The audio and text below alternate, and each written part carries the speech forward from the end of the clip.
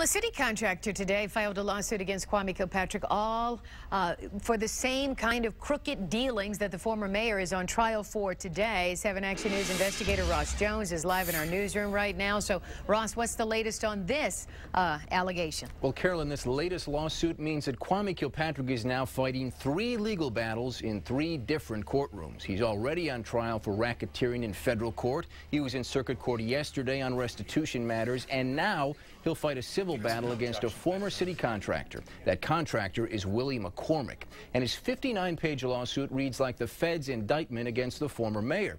It says that he, his father, and friend Bobby Ferguson had a secret, illegal scheme where they accepted kickbacks in exchange for favoring certain contractors. McCormick says this scheme cut him out of big city sewer projects. And Carolyn, we left a message with Kilpatrick's lawyer Jim Thomas seeking comment tonight, but so far he's not returned our phone call.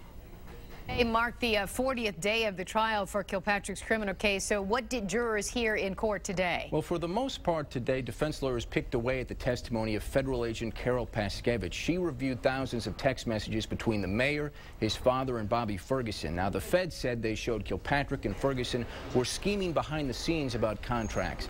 That agent also said that of the thousands of texts that she reviewed, she only saw the Kilpatricks discussing contracts with one city contractor, Bobby Ferguson.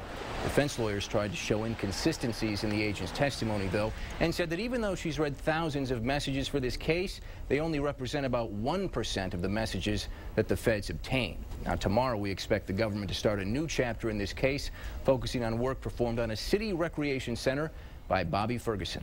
Live in the newsroom, I'm Ross Jones, 7 Action News.